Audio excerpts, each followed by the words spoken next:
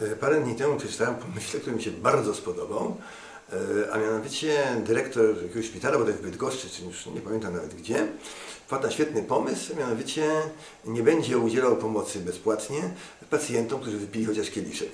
Tu może tam nie można dwa czy trzy kieliszki, bo jak zacznie e, tak to rozróżniać, to każdy się tłumaczył tylko kieliszek. Każdemu, kto wypił chociaż kieliszek, nie będzie udzielał bezpłatnie pomocy, pomocy lekarskiej. No i teraz powstaje pytanie, pytanie, jaka jest tego podstawa prawna. No, jest to oczywiście jawnie i całkowicie bezprawne. Bezprawne. Ja się tylko zdumiony, że większość dziennikarzy, która o tym pisała, zastanawiała się nad tym, czy to jest zgodne z prawem, czy nie, tylko na tym, czy to jest słuszne, czy niesłuszne.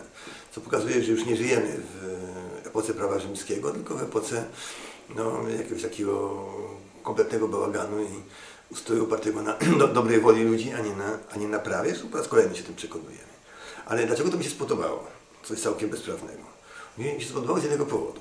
No bo rozumiem, że skoro nie udziela się pomocy ludziom, którzy wypili chociaż kieliszek, to od ludzi, którzy wypili chociaż kieliszek, nie pobiera się również składek do ZUS, prawda? I w ten sposób problem składek na usługi medyczne zostanie całkowicie załatwiony. I to jest to, proszę Państwa.